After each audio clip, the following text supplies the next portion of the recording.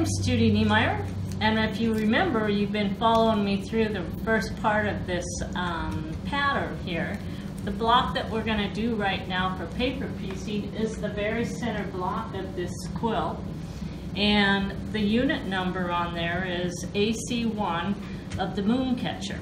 So we've already done four of them for you today so that you can see what we have. And if you look, we have a section one, a section two, section three, section four, and a section five. So what I want to do is I'm going to run you guys through a video that I do for all of my students when they come and take a workshop from me. It's going to be very informal, as I always am, and it's going to take you through all the steps um, that I would actually teach my students when they are here for foundation paper piecing. So we're going to start over here and we have our pattern, our papers, and when we got through stacking the other day, they looked just like this. Um, normally we would have eight papers in this stack, but I reduced it down to four so you didn't have to watch me do paper piecing on eight pieces. So our foundation papers, are right underneath here. Everything is in the order in which we're going to sew it together. All of our sew sides are like this, and now you're going to understand why we have a call, what we call a sew side. All right? So we're going to get started. Look close to see what I'm doing. So the first thing we want to do here is we we have to put the fabric under section one. For somebody that's brand new to paper piecing, Sometimes that's very difficult because they don't know how to center it or what to look for. On our foundation papers, what we do is we actually give you the area in which you need to set the fabric over the top of that. This is the very first fabric, and if you look, this says Section 1, Template AC1-1. And over here on the template, it says the same thing, section one, template AC1-1. So you always want to match them up and make sure you're using the right template. The very first piece that you put onto the back side of your foundation paper always has to be wrong side up. And our fabrics are all cut right side up unless for some specific reason we tell you to do it wrong side up. So what I'm going to do is show you how I can find where this section is because we're actually working off of the back side of the paper, which for most people tells them absolutely nothing. So when I take my, I, this is a fold template here, and I'll try to repeat the name of the tools as we use them. But on our fold template, we have these dash lines. We're going to actually take and line the fold template up with the dash line that's next to line one and I'm going to crease the paper. Then I'm going to take the fold template and I'm going to crease the paper on that one and that's line two. So now when I flip it over, I actually have these creased lines here. And in our instructions, if you're reading the instructions, it always tells you to trace the back side of the paper. So if you go to a window or you have a light table, you can actually do the tracing on all of the dashed lines to begin with, and then you don't have to do the fold back. But we're gonna do the fold back right now. I'm gonna take this, now I'm gonna mark that line. And I'm gonna use a pencil to mark the creased lines. So now when I look at this, I now have the shape that I need to find on here, okay? Now, I use the edge of my paper, and when we cut these out, I told you guys to only do an eighth of an inch on both sides. That way, it's easy to center that piece. So now what I like to do is I like to take my paper and I like to flip it over and match up the lines right with the paper so that I know exactly where that piece is going to be fit. And if you just lift it up in the air, you'll be able to match it because the lines, the printed lines are dark enough. So now all I have to do is look at that and I can take my first piece of fabric and I'm going to flip it over and I'm going to lay it right on that piece of paper. Then I'm going to take my next piece of paper right here and I'm going to put a little bit of glue along the edges here on that seam allowance. Don't butter it because if you do, you may not be able to get the paper back off. So I like to just keep it along the edges. Now I can just match this piece right up. Look at the paper, you can see the printed side, and I matched everything up with the piece that I had underneath it. Now we're gonna take our next piece of fabric, get rid of the fabric number, and I'm gonna flip this one over. And I'm gonna lay that one right side up, or this is wrong side up now. And then we're gonna take our foundation paper, we're going to put a little bit of glue along that edge, and we're gonna match everything up again. Then we're gonna take the next piece, we're gonna flip that wrong side up, and then put a little bit of glue on the back side and match it up.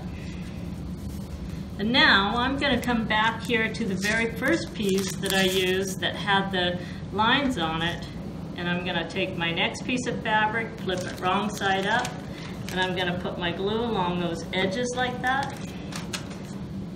And then I'm going to place this one. So the idea here is that when you're done, you have to have the fabric on the back side and it has to cover that whole piece, including these dashed lines, because the dashed lines are your seam allowance. And once you get everything lined up, we're done with that template, right? So now we're gonna find the fold template. Again, we're gonna set these papers over and we're gonna start a chain piecing process. So I placed my fold template on the solid line that's marked line one.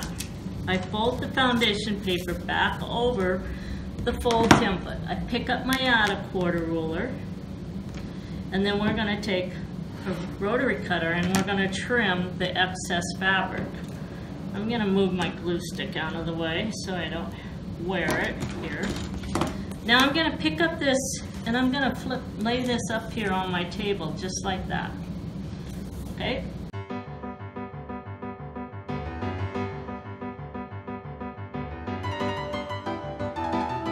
and trim. And then we're gonna stack. Now, for those of you that don't know what an add a quarter ruler is, an add a quarter ruler has a lip on the back side here. So it allows you to press, push it up against that fold template and your fabric and then it stops. Sometimes it'll slip over the top, but most of the time it'll catch right against that template. And that's why we use the a quarter. And then it trims us a quarter inch seam allowance. All right, so now I have my three pieces here. This is my sew side right here. So when I say to stack everything, now I know which edge of this piece matches up here. And the sew side is the side that you're gonna sew. So we're gonna take this template piece. Now the first thing we have to do is figure out, well, where do I line that up? So again, we're gonna pull our fold template over here and I'm going to find section 2 and I'm going to find the dashed lines that go around the edge of section 2 and we're going to crease those dashed lines and I wouldn't have to do this if I'd actually take gone to the effort to trace everything at a window or at a light table. Now when I fold it back I'm going to find my crease lines and I'm just going to mark them just like this. Alright, so now when I do that, I can actually take my paper template and I can lay that paper template down and see exactly where I need to line it up to the fabric that's underneath. Because all of my fabric should be positioned exactly the same. So if I look at that, I can tell that I just have to match up this tip and this tip with my fabric. So the very first piece of fabric I'm going to pick up, I'm going to match it up just like this okay? So what I want to double check is that I have fabric along that edge, that I have fabric if I fold it back along that edge. So the fabric's going to set basically right there. When we design a template, all you need to worry about is which way to slide this to make sure that the fabric is underneath the section that we're trying to cover.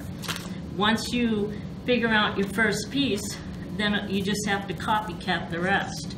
So now I'm going to take my next piece And I'm gonna actually line it up just off the side there and try to keep this lined up the same place.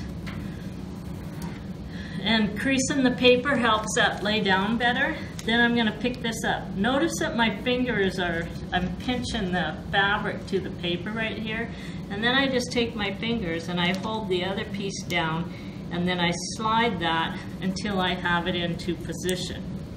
Right? Then we take the next piece, we're gonna put it on here just like that and line it up so it's staying basically straight. And then I'm gonna hold this up and I'm gonna position that one. So I don't really have to mark every single piece. I just have to mark that first one to know where to get started when I'm doing my chain piecing. And now we have all three of these done, okay? Now, this is a pretty little piece. I can pick these up, take it to the machine and sew them really easy. But when I'm working with a beginner, sometimes it's hard for them to get that up there to the machine without losing half the fabric underneath it. So this is a really good little trick. So this is a glue pin, all right? And it just rolls up like that. You can get them in almost all quilt stores. And I just lift up that edge of the fabric along the raw edge and I just put a little bit of glue there. And then I push the fabric into the glue. And then we just lift the next piece up. We push the fabric into the glue. We don't have to over glue it. All it needs is just a little bit of glue. And I use the glue pin because it's narrow. And this is a lot better fabric glue. It's fabric to fabric where my UHU stick that I used earlier works better when I'm working with fabric and paper. But right now I'm just working with fabric and so I like this glue pen for that. So now when I pick this up, see my pieces, the raw edges are staying together and I can hold that in position. All right. So we have everything setting up the machine. We're gonna take and we're, we have to open this up. And what I like to do is see, do I want to open up this way at my machine or do I want to open it like this? And I'm going to look at this and decide which way I want to turn it. And I've decided that I want to start here and sew this direction. So I'm actually going to take and turn all of my paper around like this. So line one, you're going to line it right up to the solid line.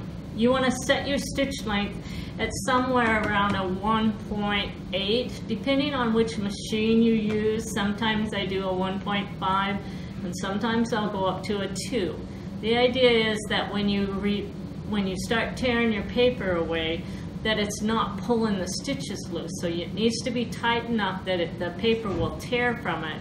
But if you get it too tight, then you can't pick it out if you make a mistake. So there's just a, you have to do a little bit of test to see which way you want to actually, um, how tight you want that stitch. And on this machine, I normally sew with a 1.8, so I'm going to adjust my stitch length down right now, and then I'm going to start sewing.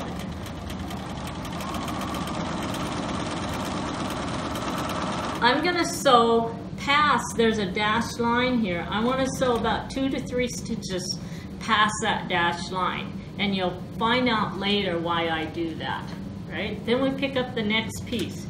If you have a machine that has a needle cutter or a thread cutter, then you should push and cut the thread and then move the paper off to the side. If you have a machine that doesn't have a thread cutter, then just lift your needle and your pressure foot and then come in and place it on the next piece, slide it off to the edge like that, and sew on line one again.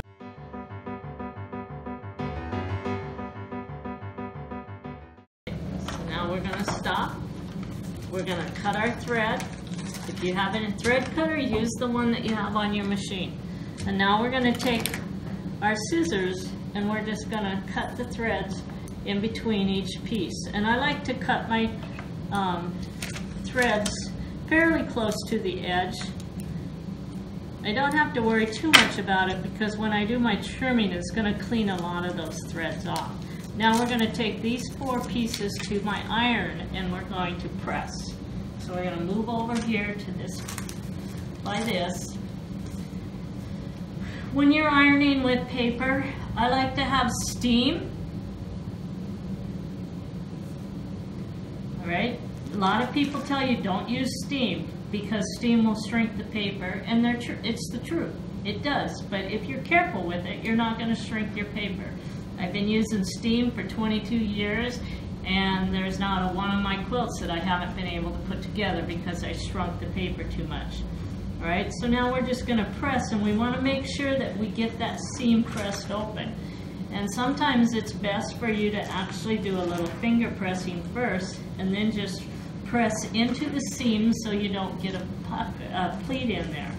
A lot of people will, when they're new, they'll just set their iron down, and then when you look at it, you can actually pull it apart because they've pressed a little fold right on that seam line. And you want to avoid that. The idea is to keep that pressed open. Okay, so notice that I didn't use too much steam. One sign of using too much steam is it causes the paper to curl, right? But you can still use it. So we're gonna go back over to our cutting board now.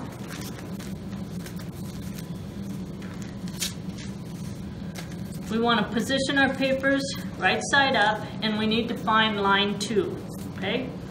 So line two is going to be right along here, right? And we're going to position those in the position of how I want to cut, which I am right-handed. If you're left-handed, you would probably want it set up like this, right? So right-handed, we're going to pick this up. I'm going to take my first piece and I'm going to place the fold template along line two, which is the solid line, and then I'm going to fold the paper back. Now because I stitched all the way past that dashed line, I have to bring the fabric with it. So I'm just going to pick up on the fabric and tear that just a little bit like that, right? It doesn't matter if you tear it too far or tear a big hole in your paper because you're going to remove all the paper before you sew the quilt up anyway. So now we're just going to take our rotary cutter and we're going to trim and that cut all of my threads off for me. Now I just have to crease my paper and then we're going to pick up the next one.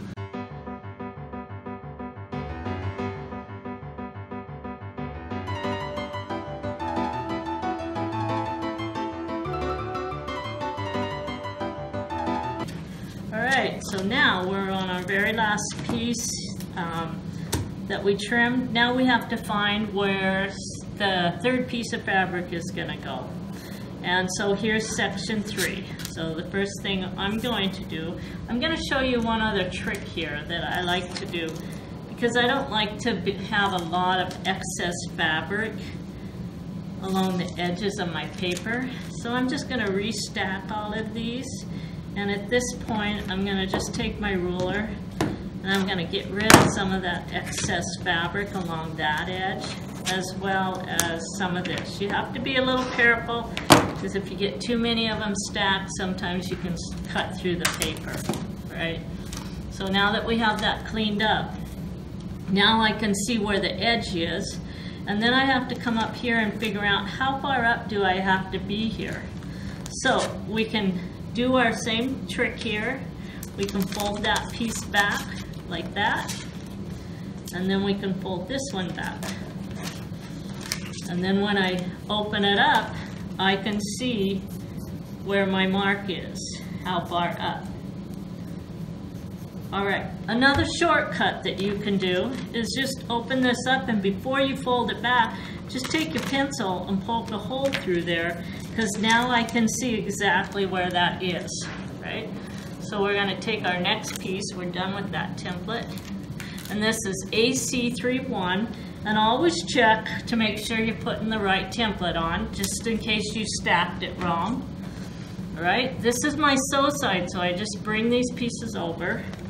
We're gonna lay this down, pull it straight towards me, and I'm gonna, I can see right here where I need to be, and I need to be right along the edge of this paper right here, not this one. So I'm gonna put my finger on both points there, and I'm gonna go double check. I have lots here, and I have plenty here, but I have a lot more here, so I'm just gonna move it just a little bit more up that direction. All right, because then it centers it a little bit more and I don't have to worry about it not catching the next piece. Then we're gonna take this piece, fold my paper back like this. We're gonna position that one right in place. We take the next one, put it on. And the only reason I'm folding my paper back is because I'd opened it up so I could trim off that excess. Otherwise, it would have already been folded back.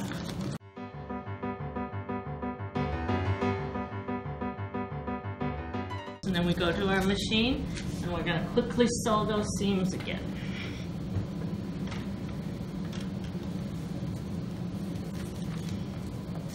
Open the paper and start to sew.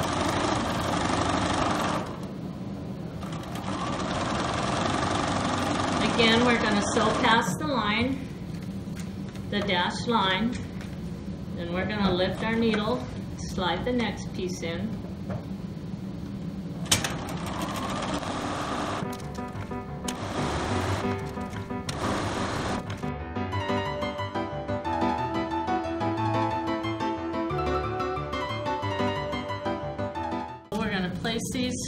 Side up, we're gonna flip them over, and we're gonna find line three.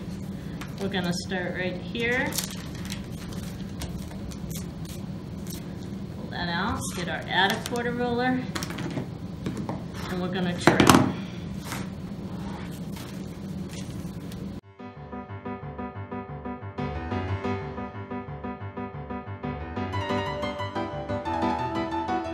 Now we're ready to add the next piece. So we're gonna pick up section four. This is my sew side.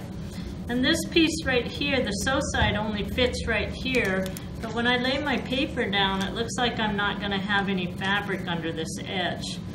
So what's happening here is I have one line that, this last seam actually cuts that piece off. So we only gave you the sew side on the sew line right there, right? So we're gonna fold this back, and I'm gonna mark that line for you so that you can see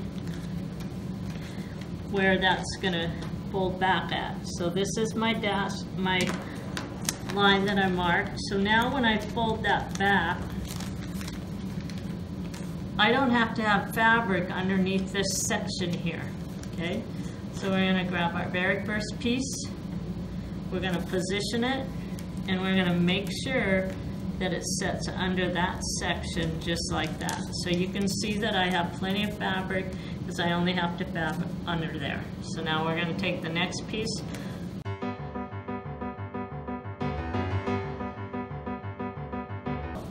I've been showing you how to glue everything. This time I'm not gonna show you how to glue because I want you to see that you can actually do this without gluing each one. So we're actually gonna take this and pick it up and bring it to my machine. I'm actually going to turn it like this so that I can sew in this direction.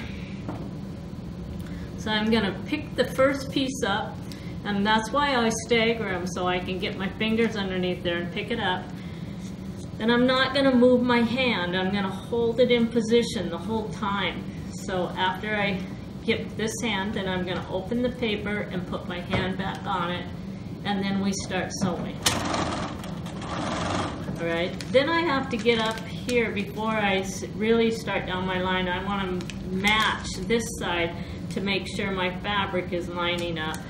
And then I put the weight right there. If this is a really long seam, I really recommend the gluing. Then we're going to take the next piece.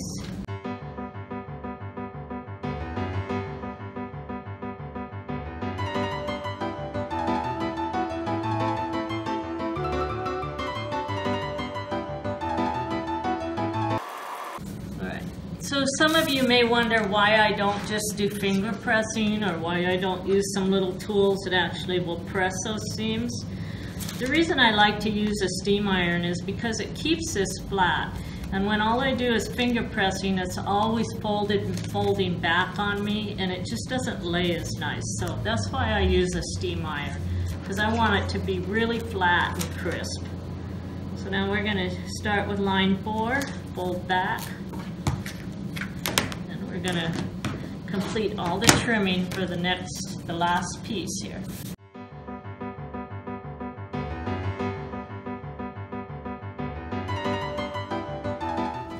I sew side, so you bring these up like this, place this down. And this one I don't have to mark anything, I just have to make sure that it fits. And there's plenty of room to fit on that one. So then we're gonna take the next piece, position it, right under there. And one thing I might mention to you is if the dark fabric is on the bottom when you're doing paper piecing, you don't have to worry about whether or not there's going to be a shadow. If the light fabric is on the bottom, then you need to offset it just a little bit to where you can see the light fabric show because it will leave a shadow. And my dark is on the bottom, so I'm not worried about it right now.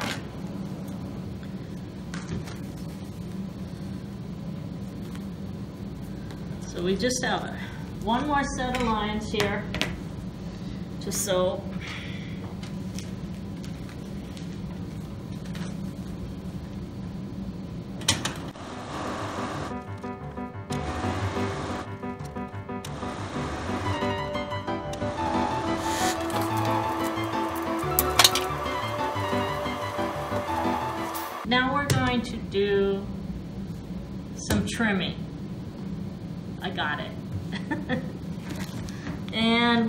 Want to find now is a little bit bigger ruler. So I'm actually just going to use this one because I like to put the weight on the paper. And then we're going to line that up. And we're going to cut right along that straight line. Then we're going to swing this around and we're going to cut a smart corner and another smart corner another long straight line. And now we have a curved line. So to do the curve what I like to do is take my blade and get it started right here at the top of my curve. And then I just move the paper and I just basically roll forward. And I do what I call free motion curved trimming. And it's all nice and trimmed the way we want. And then we're gonna do the next one. So one of the things that you're gonna find as we go through these videos is I'm gonna start showing you different shortcuts along the way and different things that will speed up what you're doing. The video that we just did is probably the first, um, the last video video you're going to see where we actually took you through the whole process of paper piecing right? And these are our pieces. Thank you.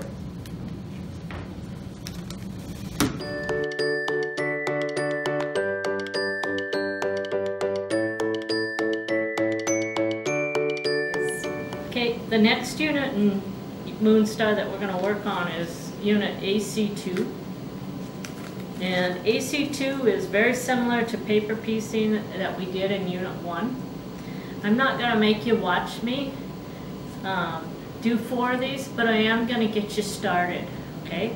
So we have just four papers. I'm gonna put the first two units on, and then I'll come back and show you how to trim them. All right, so all of our papers are still stacked, uh, fabrics. We're gonna start with section one.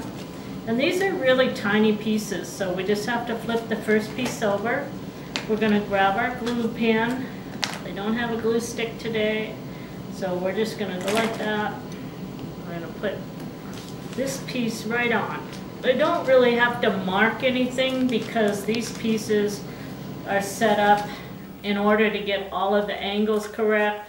We always have quite a bit left over on the first and last piece. So it's easy to position everything on there without any marks. Then we're gonna take the next piece and we're gonna lay it right on top and then we're gonna match up the papers, put that piece on, lay the next one on. And remember, I have the wrong side facing up. This fabric is a really light colored fabric, so the glue stick that I'm using, or the glue pen if you want to call it, is probably the better choice than a UHU because we don't want the fabric and paper to stick to that, uh, the glue and the paper to stick to this fabric, right?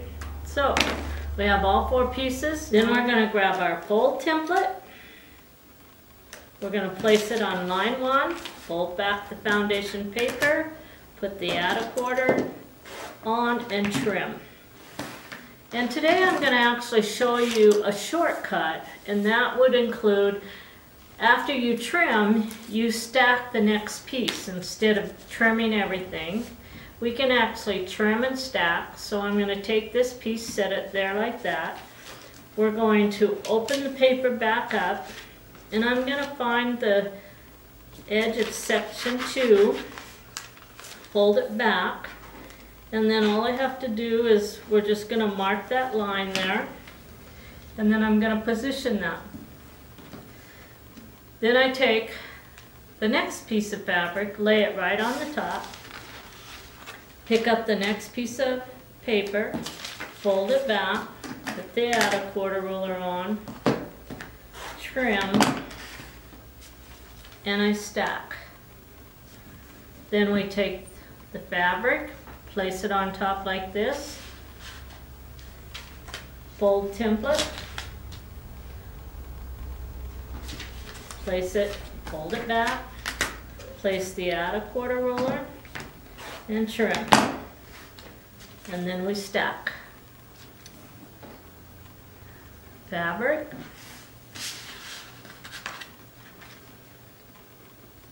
Place the fold template on line one, fold back the paper, add a quarter, trim, and stack. Okay, these pieces are pretty little, so I'm just gonna pick them all up. I'm not gonna glue the edges, I'm just gonna take them, bring them to my machine. And I'm actually gonna roll them around so I can open them up this way. Pick the first piece up, open the paper, and sew on line one. And remember, we have to have our stitch length at a 1.8 on my machine, and then I'm gonna sew.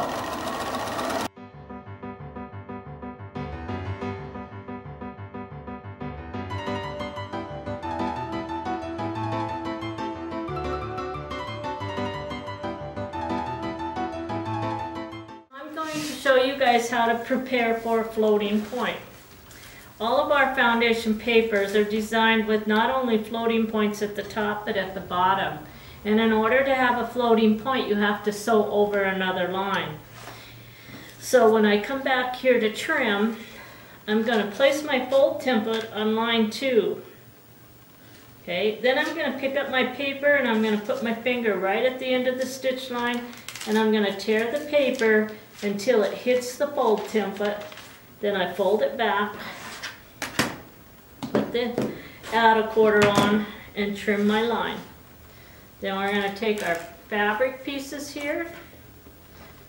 This is my sew side. I'm going to pick that piece up. But before I show, um, go any further, I want to show you that when you do this, quite often you end up with a hole setting right in here from your paper. And it's okay. It actually makes it easier to remove the paper when you get ready to remove it. So then we're going to place that piece on here like that. And you want to make sure that you have fabric past this part right here, which I do, and fabric past that point. Then we're going to pick up our next piece of fabric, position it on there, place the fold template on line two on the foundation paper, fold back the fabric with the paper, tear it back, that's another way you can do it, and trim. And then we're going to stack. Now we're going to take this fabric, we're going to place it on here like this. Now I'm going to place the fold template on line two.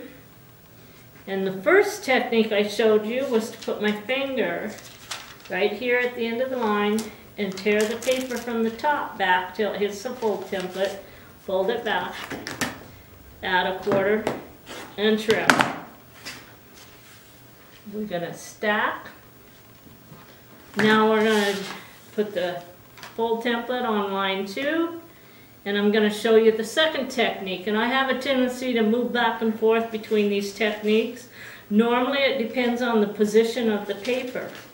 So I'm going to fold this back, I brought the fabric with it, and then I just pick up on the fabric and I tear it back and it tears that hole the same way, just from a different angle. And then we're gonna put our fabric here and we're gonna stop. And that's all I'm gonna show you for the paper piecing because you don't need to watch the rest of it. Okay, we have all the paper piecing done. So now I'm gonna quickly show you how to trim this unit. So I'm just gonna grab my little ruler here and I'm gonna cut the ends. I'm gonna flip it over and cut the straight edge. And again, we're gonna take these pieces and just kind of turn the paper right underneath the blade. And then we're gonna do the top one.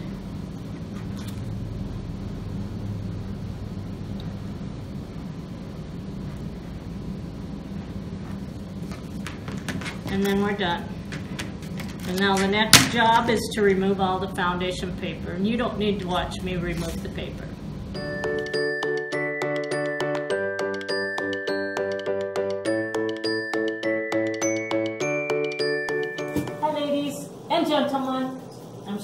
Few of you guys out there today. So we're actually going to continue with the paper piecing for the Moon Star. And the unit that I have here is called Unit AC3. And what it has on it is a curved piece. And so I have a technique that I'd like to show you guys how this is done.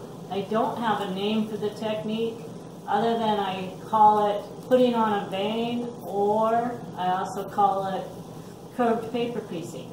And um, it's, it's very cool.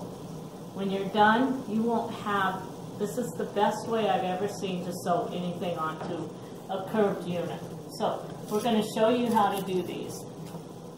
All right. My papers, I have them um, clipped to the top of my stack. My stack is already uh, clipped together because we did the stacking in another video, right?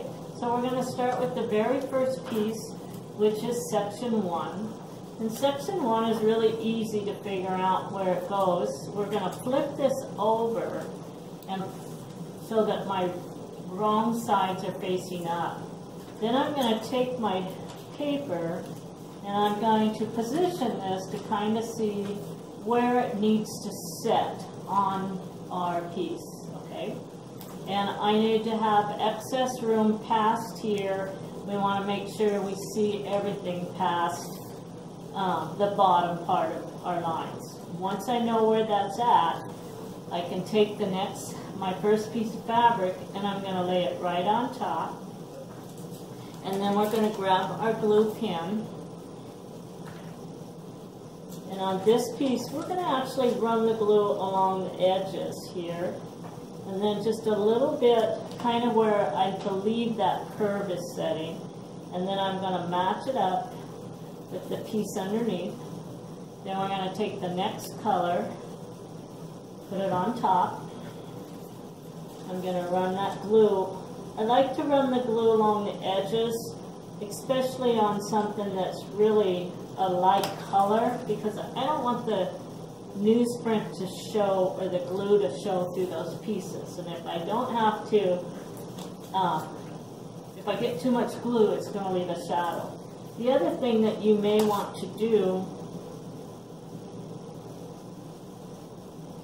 is you can use your fabric glue pen because once it dries, it pops free of the paper and it won't leave all of the messy uh, sticky glue and paper onto the back. So you can actually use these pens, and you can get these in different colors. However, once it dries, the color goes away. Okay, so then we're going to take our last piece, and remember my last first piece of paper I put underneath here. We can throw our template away, and then we're going to take this, these pieces on here like this. All right, so now we have everything on there. Now it's time to put my glasses back on so I can see what I'm doing. Now we're going to take the glue stick and get rid of that. Now the next step that we have to do here is to sew on a basting, a basting line. And I have a dashed line set here and it says basting stitch line one. And we have to sew on that line. We now have our papers at our machine. We're going to start right here. The basting stitch line, I normally set my machine at about uh, 2.8. You don't want it to be a really loose stitch and it doesn't have to be really tight. Um, if you forget one way or the other, don't worry about it because we're going to trim all that basting stitches, all those basting stitches off when we're all done so there won't be any threads left from it. So we're going to get started sewing and I'm going to change my stitch length here to about a 2.8 and then I'm going to stitch right on the line. Now it's important to stitch on the line because we're going to use that basting stitch line as our quarter inch guide and if you're sloppy with your sewing then your seam allowance is probably going to be sloppy as well. So stay on the line.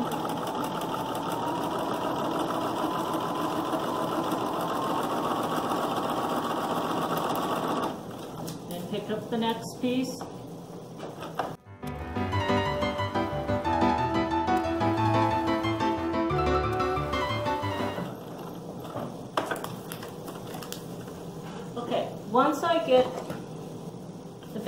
stitch line done, the next thing it's going to tell you in the pattern is to come back and sew the TRP lines. And most of you probably have no idea what a TRP line is. So what we do with our uh, curved patterns is we actually put these sew lines right here and what this is is it's a registration line that we want to stay in place as we're doing our curved piecing. Some people look at it and they go, I'm not doing that. But most of the time what happens is they, they fight not knowing where to position something. And you're going to see the advantage of using a TRP line. So in your instructions, it tells me right now to sew the TRP lines and there's an arrow that points to this one right here and it says that's TRP line number one. And we're going to sew each one of those on the paper.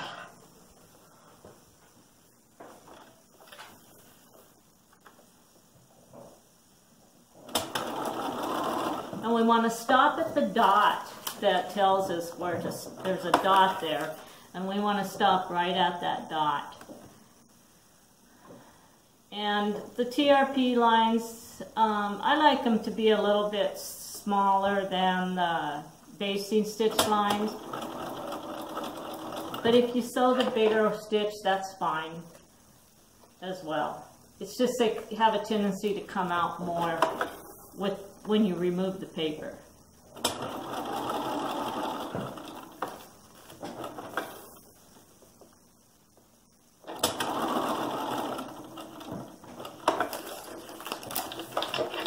When you get done with your TRP lines, you want to take your scissors and you want to cut the threads right at the paper, flip it over and cut the threads on the back.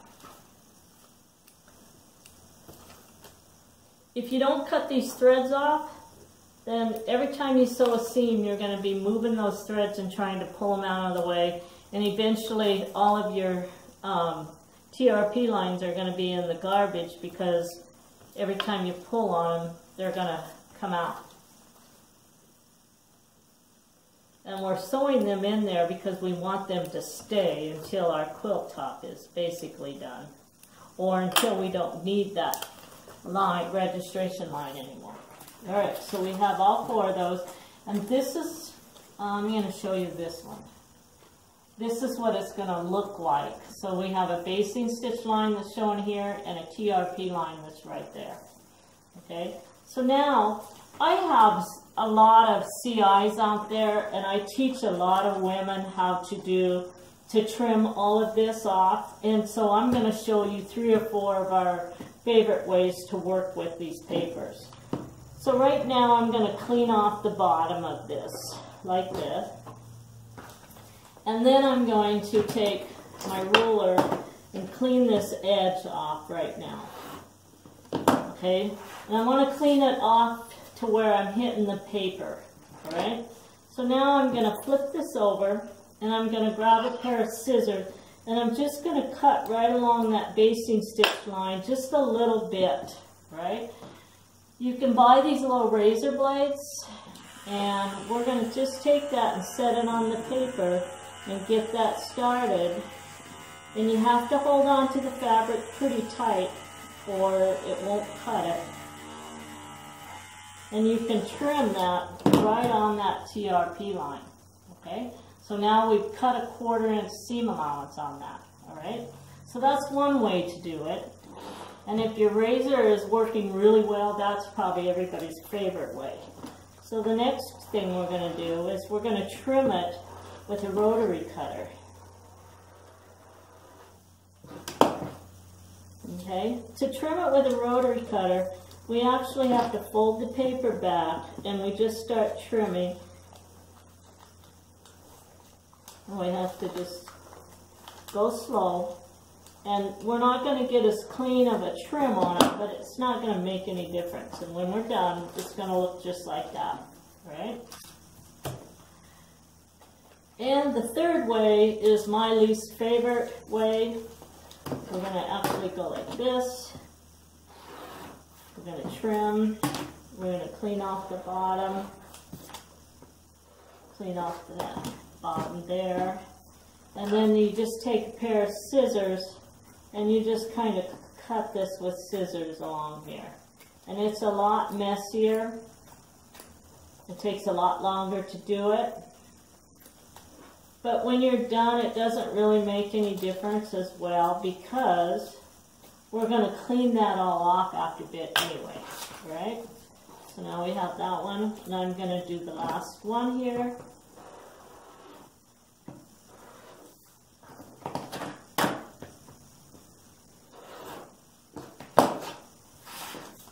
And we're to go for the razor blade idea again and see if it works for me.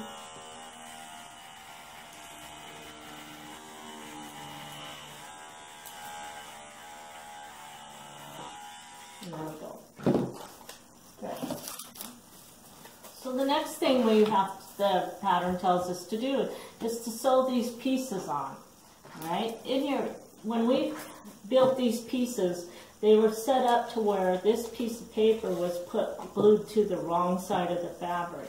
And the reason we wanted to glue it to the wrong side of the fabric so that you don't have the glue uh, showing on your fabric when you're all done. One thing the paper, uh, instructions don't tell you is that you got to remove this before we can do anything. So we're going to actually tear right along those basting stitch lines that we put in. And we're going to take the next one and tear that. And don't just throw these pieces around because you don't want to lose which uh, the fabric that's the wrong side of the fabric. If you're using a batik, if you lose it, it's really easy to put these pieces on upside down.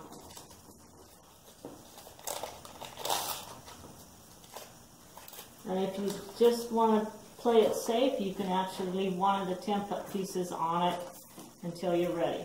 Okay, so now we're going to take the first piece and we're going to pick this up and in our instructions it tells us to take our glue pen and run our glue right along the inside of that basting stitch. I'm not on the paper, I'm on the fabric, but I don't want to glue it so heavy that it's going to show past a quarter of an inch. Then I take my line here and I'm going to match that basting line up with the one that was sewn onto this piece and then all I have to do is just roll this around and glue it and the edge of the fabric is glued right next to the stitch line.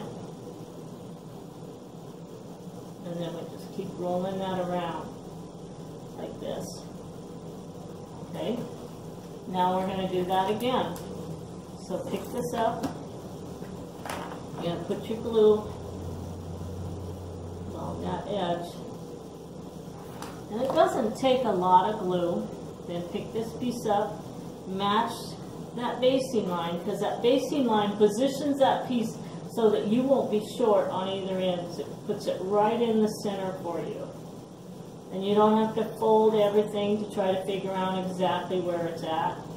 And the other thing to realize it is sometimes these pieces aren't all the same size because of the way we cut out the templates. All we have to do is make sure that you have that inside curve cut. So then we're going to take this piece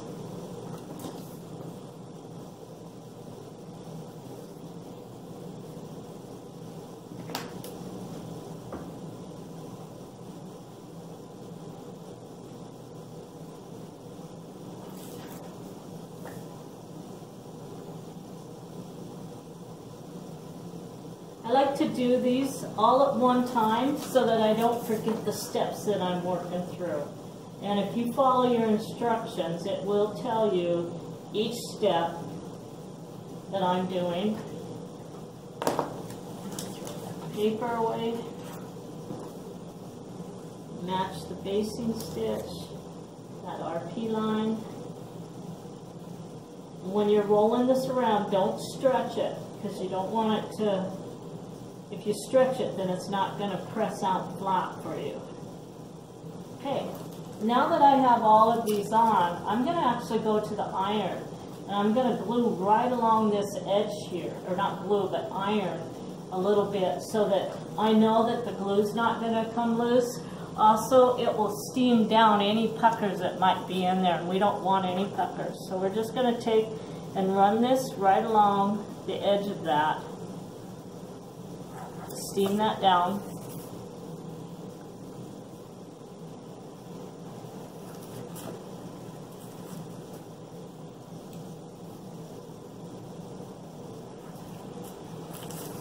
It also shrinks the fabric just a little bit for you so that if you have a wide pressure foot on your machine, it's going to flatten it out there a little bit further than what it would with your fingers,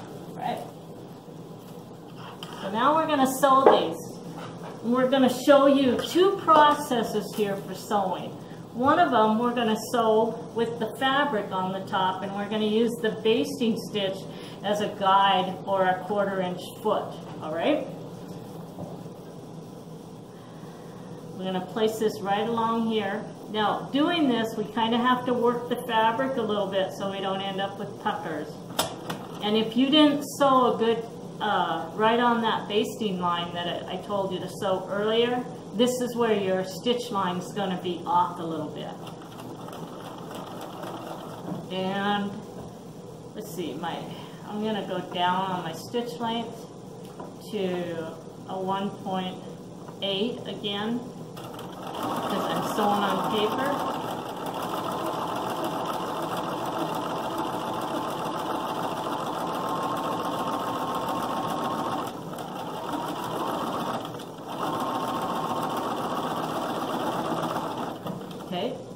And I'm going to do that process a second time. So I'm going to start here. I'm going to slide this under. And we're running the pressure foot right along the basting stitch because that's my quarter inch.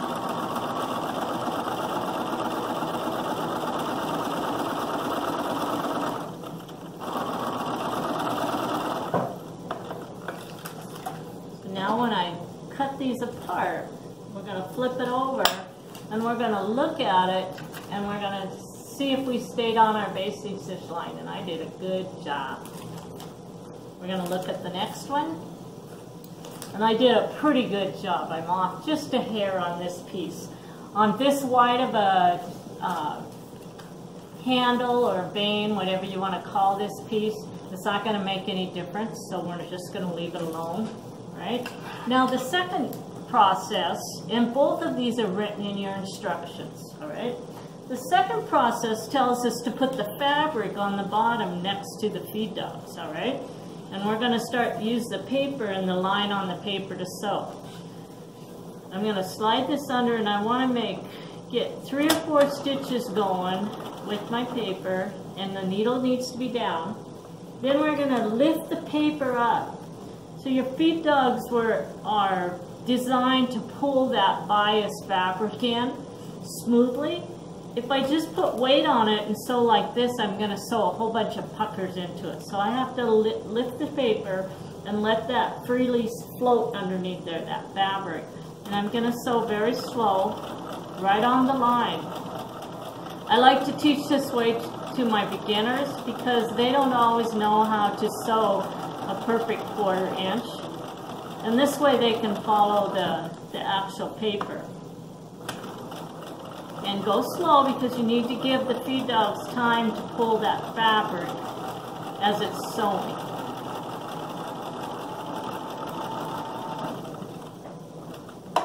And then you're going to look at it. Of course, it's right on the line. And that's going to go like that. So we're going to show that again. So place the fabric down and then start sewing right at the edge of the paper. And hold the paper up in the air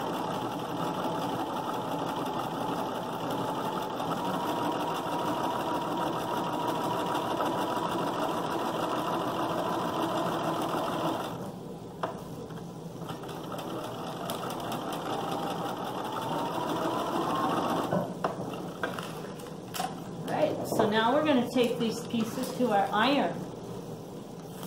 And we're going to press each one of them.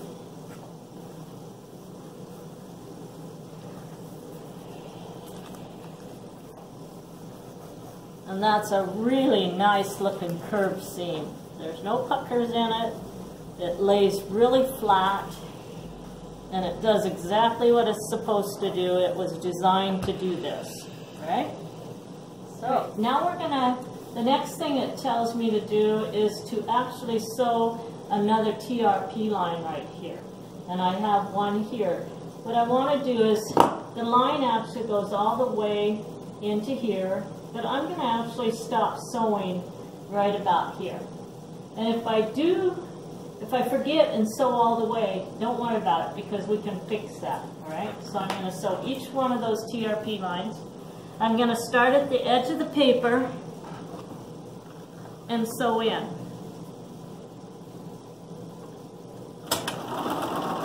And when I get to that dot, or to the line, I'm going to stop to my dash line.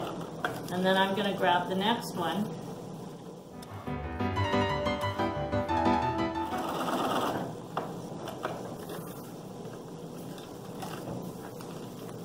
Now we're going to cut all of the threads on those, flip it over, cut the back side.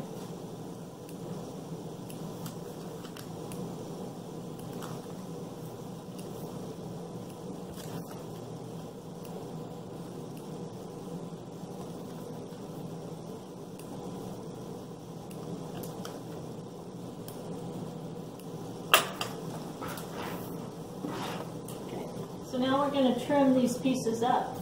So we have a straight line, a straight line, a smart corner, and then two curved lines. And I'm going to show you a couple different ways that you can actually cut those curves, all right? So we're going to place a ruler on this.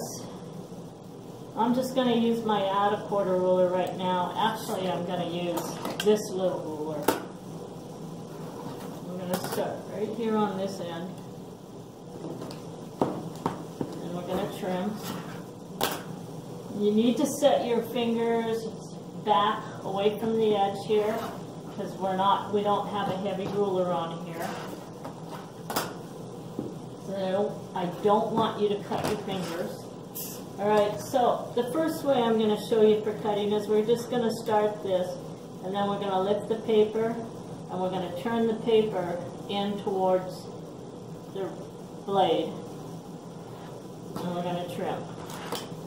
And then we're going to start here, and there's a little smart corner right here.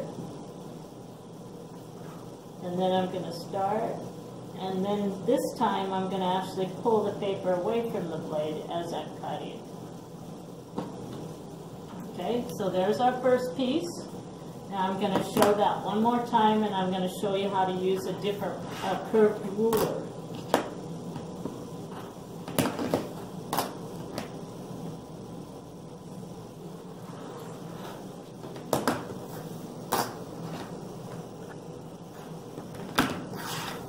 Okay, I have a ruler here and it's called a 12 inch wave ruler. It was actually designed for a different book that we actually use that we make a quilt. And you can actually make the whole quilt with this ruler uh, with no paper. But we like to use the ruler sometimes because it's got a curved, ed- an outside curve and an inside curve on it. So I can place this along that outside curve. It's not going to match up perfect, but it matches up enough that I can cut just a little and then I just keep rolling the ruler in. And a lot of people prefer to have a ruler there rather than to do the free motion cutting. And then we get that line cut. Now we're going to use the inside curve. I have a smart corner right here at the end. And then I place that inside curve and I just keep rolling the inside curve up along that black line, my cut line, and then I cut my next piece. And I have this perfect shape here. Okay, so now the next thing I want to show you is after we get all of this done, we're going to remove the foundation paper, all right? So the first thing I'm going to do is to come in here, and I'm going to tear the paper right down along this seam, and it's going to come up against that TRP line, and then you're going to tear without, because you don't want the paper to pull out that TRP line, right? Then we're going to take this one, and we're going to tear that off, and then we're going to come back. Okay, so now I still have my paper underneath where the basting stitch was actually sewn on. So I'm going to actually flip this over place the paper down against my board here. And I'm going to retrim and I'm going to trim off those basting stitches. Okay. Notice that I didn't trim off what I just sewed on. All I did was just clean off the basting stitch.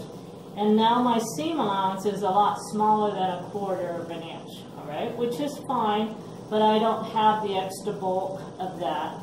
Now all I have to do is just grab the rest of the paper and remove it. It's a lot easier to remove your paper before you sew than it is to try to remove, sew the pieces together and then remove it. And we're working with curved seams here, so there's no way you're going to be able to do any sewing if you leave that paper on. So anyway, we have a really nice piece right here. And that's the end of this unit. Okay,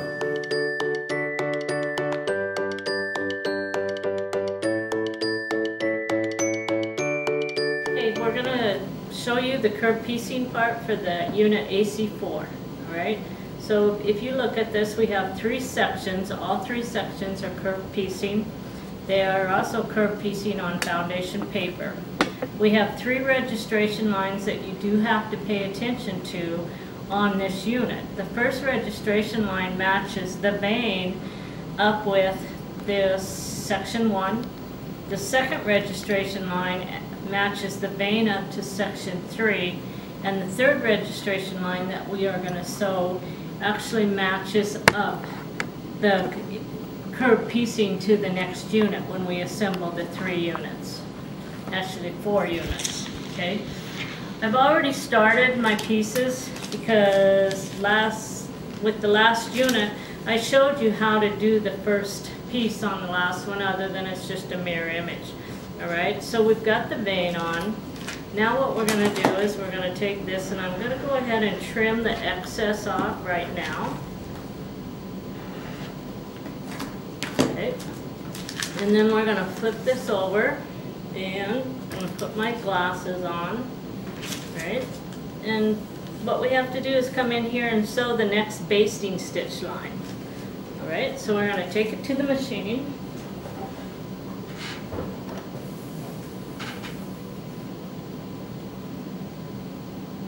Okay, place the pressure foot right along the basting stitch line and then sew. And remember, you have to have your basting stitch line set at about 2.8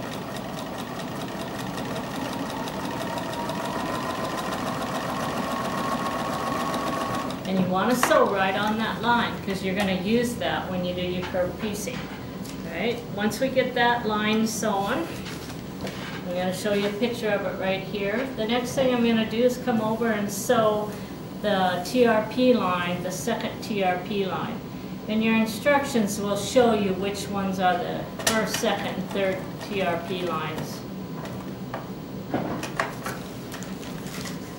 Okay, so we got our TRP line sewn. Now we're gonna cut the threads off the back of it. And we're gonna flip it over and get rid of the threads on the front. Okay. So now what I have to do is, we have to flip this over and we're gonna take the scissors and we're gonna cut right along that basting stitch line again. And then we're gonna find our razor and then we're just gonna take this and trim that piece off. Just like that. I kind of missed a piece, see if we can get it to trim it. Okay. Once we get that trimmed off, we can shut this little machine off.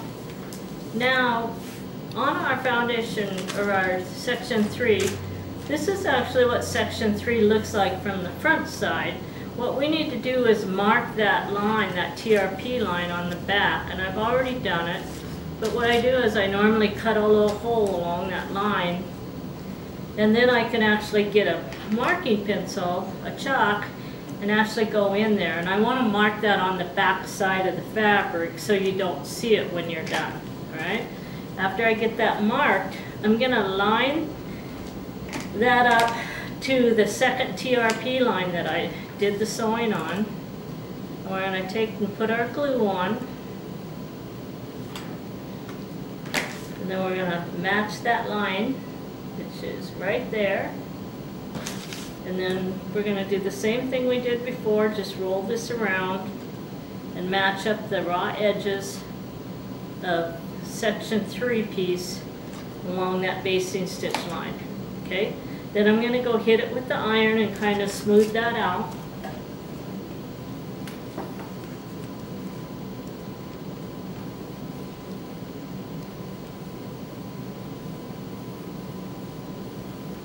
All right. Now, on this piece, I'm just going to use this, uh, the basting stitch line as my guide rather than flip it over because this is a pretty big piece to just lay underneath like this. So we're going to go with what I told you was option one yesterday or with the last section we did, I should say. And we're going to sew right along the basting stitch line.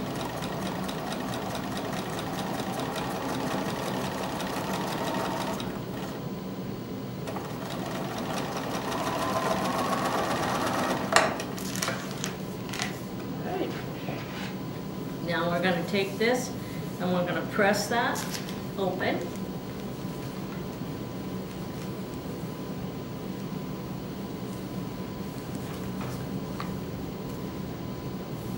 So after we get that pressed open, we're going to come over here and we're going to sew the TRP line for the third one, third piece, or the third section here.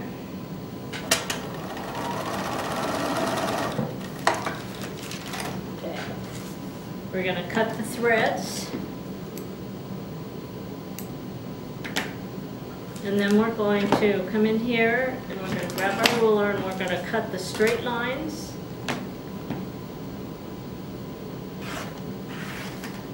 Then we're going to cut our smart corner off of the end.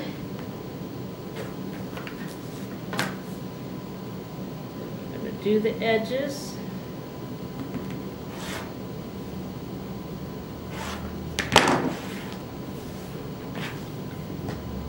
When I sew TRP lines, I always like to sew the TRP lines before we do the cutting, because then it leaves me a nice clean cut along the edge, and it makes it a lot easier for those threads to be pulled out when we start pulling them out.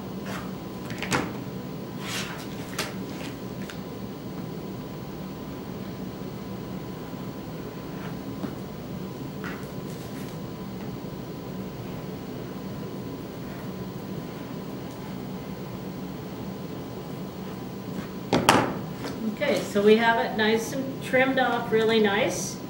Now what I want to do is show you how to go in and trim the basting stitches off of those two seams. So we're going to remove the foundation paper.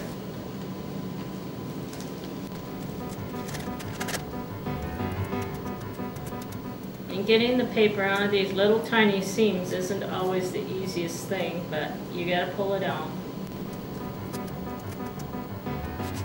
Paper off my table. And then we'll get the very last of it pulled out. And you can actually trim these seams off with the paper on those, the seam allowance. I just figured I'd pull it off because that's the last thing I need to do. And I sewed over and kind of attached that, so I'm going to cut that TRP line just a little bit. Now I'm just going to take my rotary cutter and trim off the threads from the basting line and then we'll go to the second one and we'll trim those threads. And now I have a nice clean cut on the back there. Now, one of the things we can do at this time is we can actually remove the TRP lines. I like to remove them when I finish up a unit. If you have a pair of tweezers, you just grab hold of the end of it and pull it out. I don't have tweezers in my hand, so I guess I'll give up on that right now and I'll get my tweezers. So we don't want to move the remove the one that's going to be used for the curved piecing.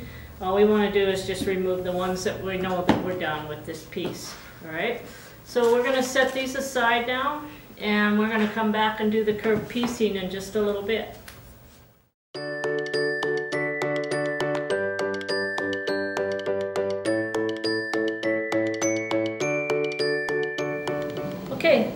Part to the moon star is to do the curved piecing. First of all, I want you guys to notice I have removed all the paper from all my units. And I like to do curved piecing without the foundation paper. Now some of my patterns will tell you to leave the foundation paper on the bottom unit and to remove it from the top. But when I start sewing these, I need to start here, then remove it, then this. So I'm not going to have any paper on here anyway, so I might as well just get rid of all the paper. It comes off a lot cleaner when you remove it, and your curved seams look a lot nicer if you get rid of the paper before sewing them up. Okay, so here are our four units here. So we have to put A2 onto A1. And all we're going to do here, we don't really need to find the center on this because it's such a small piece. So I'm just going to put some glue onto this side of it right here. And then I'm going to run my glue like this. So start at the first edge where you're going to start sewing and then come back to the place where you're going to end the sewing and you're going to glue that then you're going to work this piece back to the first part. Now, if you find that it doesn't seem to want to lay down, that's telling you that you're probably going to have to come in and clip, all right? What happens when you do paper piecing is all of these lines on each one of these little spikes is straight. So a lot of times your curved seams don't seem to want to lay down the way they would if you just cut a normal curve out of a piece of fabric because that's going to put it on bias.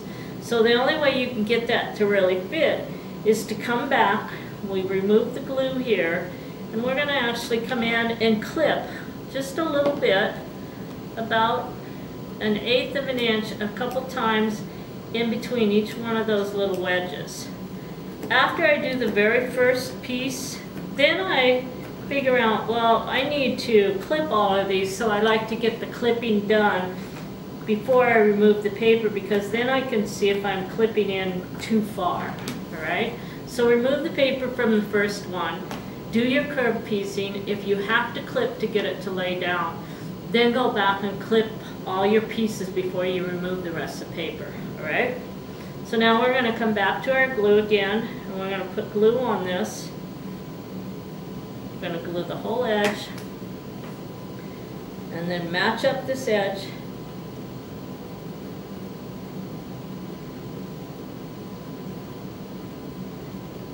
And that gives me a perfect fit, okay? And all I had to do is just do a little bit of clipping.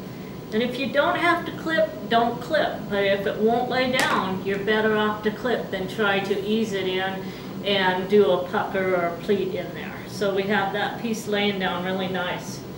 Now you have to know how to sew a quarter inch seam. Now, when you have the paper on there, you can always look at that and say, oh, well, there's my quarter inch seam. However, if you remove it, nobody's going to know if you didn't do a perfect quarter inch anyway. So I always figure it's close enough if it looks like a quarter inch, as long as all my pieces go together. If my pieces don't go together, then I have to go back sometimes and fix a seam allowance to get them to all fit. So the best thing you can do is learn how to do a quarter inch seam. And I have a quarter inch foot.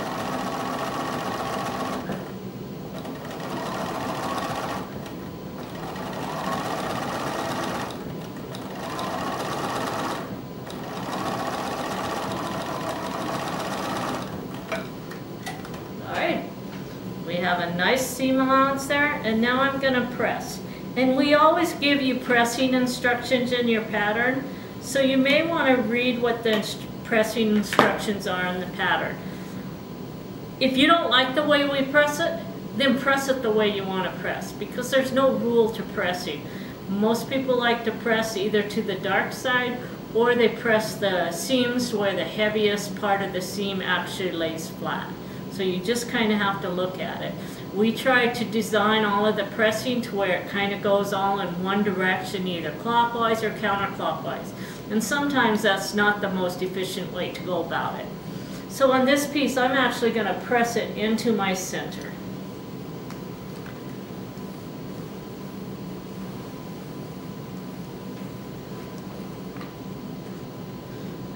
So we have that piece done. Now we have to join these two pieces, unit AC3 and AC4.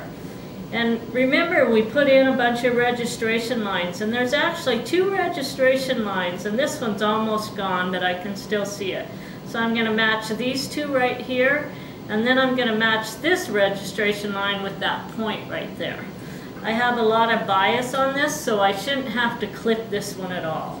So we're going to run our glue stick, and I'm going to start basically in the middle here where these two lines are and get them matched up first. I'm going to flip this piece. We have right sides together. I'm going to match my first registration line and then I know that this other one comes down to that point and I'm going to match at that point. Now we're going to come up here and we're going to go back to the very beginning and I have a smart corner on this end, so I'm going to match that smart corner first. And it is a perfect match there. And then we're going to take and push the rest of it down into the glue to where that lays flat. Now we're going to come down to the bottom and we're going to put our glue on the bottom and there's a lot of bias on that so be careful not to stretch it. And this one has a little bit more straight of the grain to it, so it may not want to give. And I might have to clip just a little bit, but I'm going to try it without clipping. And it fit really nice for me, so I'm not going to do the clipping. I'm to put the glue on the glue stick. And now we're going to sew this seam, and this one is going to be sewn at a quarter inch.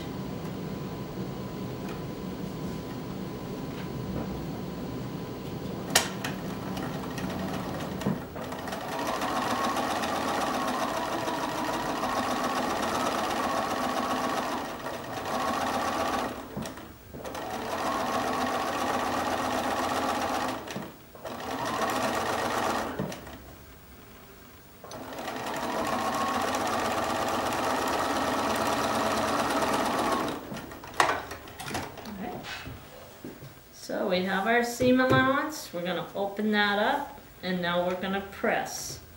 All right. And I think I'm actually going to press this one into the vein.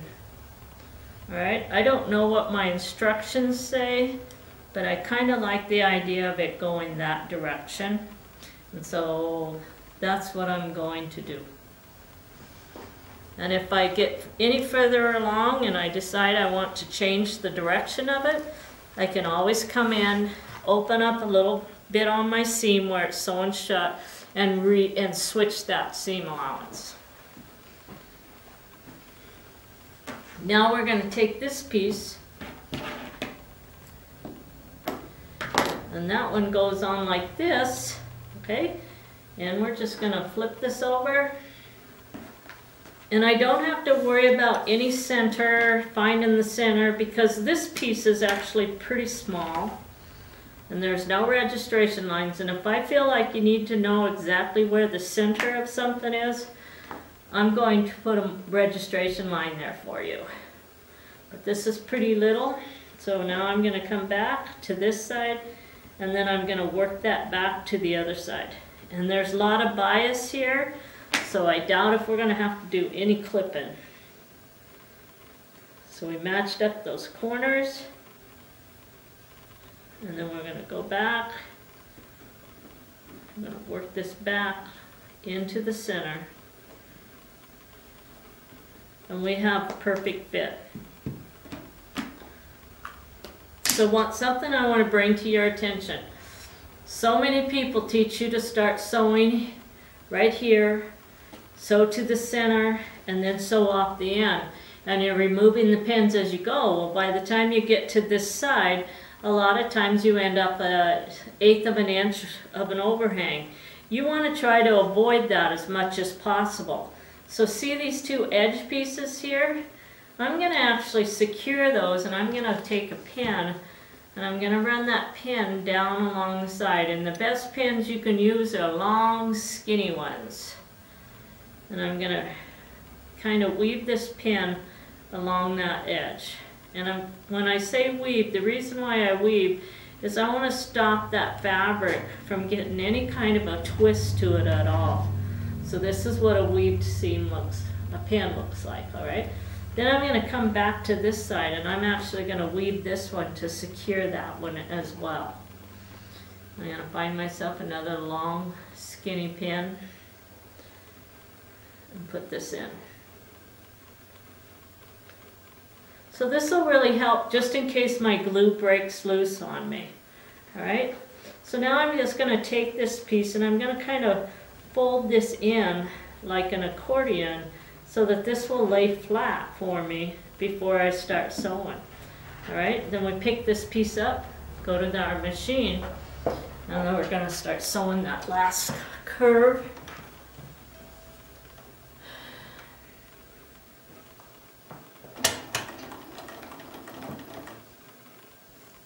Pull that pin out once we get to it. And I like to always have my needle down when I do a curved seam so that if I have to lift my pressure for it to move it, the needle is down and it doesn't jerk my stitch.